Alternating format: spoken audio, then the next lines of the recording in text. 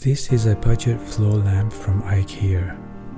I am using it to illuminate my desk, as the desk itself is not that wide, and a lamp that sits on the desk would feel too cramped.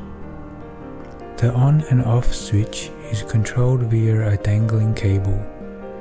It's not the neatest setup, but it functions fine and stays out of the way. The light bulb that IKEA recommends to accompany the lamp provides a soft, warm, mellow glow.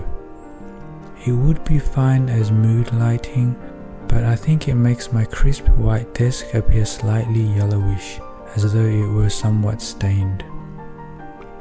I thus replaced the bulb with one that illuminates with a starker, more vivid whiteness.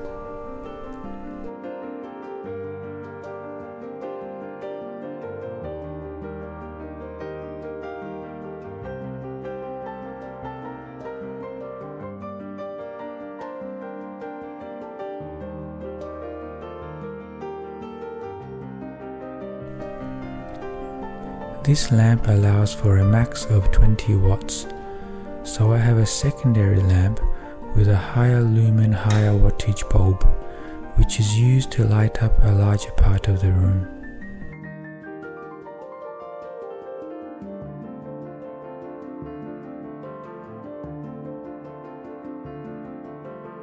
Overall this is a sleek modern floor lamp that is both functional and versatile.